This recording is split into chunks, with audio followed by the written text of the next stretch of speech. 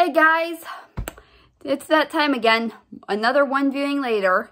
And well, we're back to another Nickelodeon show that was, that of course was on before my time and ended, you know, by the time I was born. So this time we're taking a look at CatDog.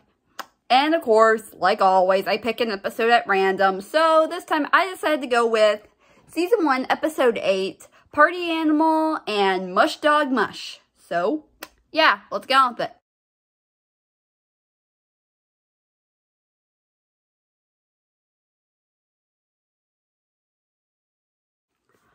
Okay, so I will say this. It's an interesting and funny show nonetheless. Like, wow.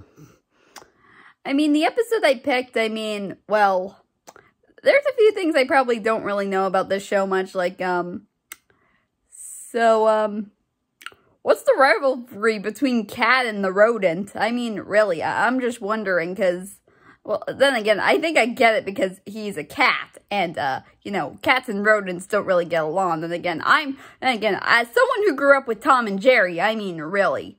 So, yeah. Anyways, I'll see you guys next time. Take care.